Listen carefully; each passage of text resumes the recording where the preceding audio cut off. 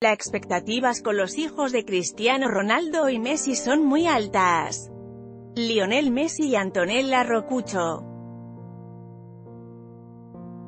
Foto, Abaca France, de Grosby Group Todos están pendientes de las habilidades futbolísticas de los hijos de Lionel Messi y Cristiano Ronaldo, dos de los más grandes cracks del fútbol 11 en la era actual.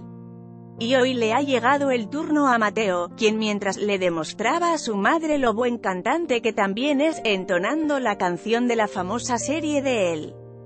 Zorro, tomó el balón y apuntó a la cámara, dejando que por rebote ésta se estallara en la cara, aparentemente, de Antonella Rocucho, esposa de Messi y madre del menor. El vídeo ya le está dando la vuelta a todas las redes sociales porque lo que ha llamado la atención es ver, aunque sea breve, cómo le pega Mateo al balón. Muchos ya han podido ver lo diestro que también es el hijo mayor de Cristiano Ronaldo, Cristiano Jr., quien parece tener todas las habilidades de su padre, y de momento, con quien además suele no solo jugar, sino también entrenar.